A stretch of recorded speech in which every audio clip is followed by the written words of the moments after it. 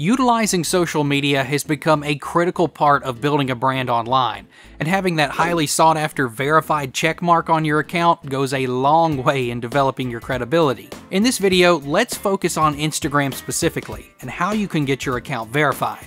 These days, you can request that Instagram review your account for verification at any time. Unfortunately, that doesn't mean that you will automatically receive the verified checkmark that you're hoping for. However, I do have three easy tips on how you can increase your chances. The first and most obvious thing you should be doing is sharing great content on a regular basis to acquire followers organically. It is believed that 20,000 followers is a great goal to aim for when trying to get verified, but don't get discouraged if you're not there yet. There are plenty of accounts that have been verified with less followers. Secondly, you should always keep an eye out for duplicate accounts of your brand.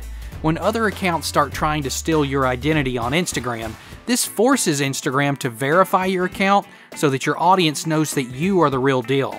Lastly, award winning television host and entrepreneur Jane McGarry recommends that you find a way to be published in at least 10 blog articles or be featured on TV.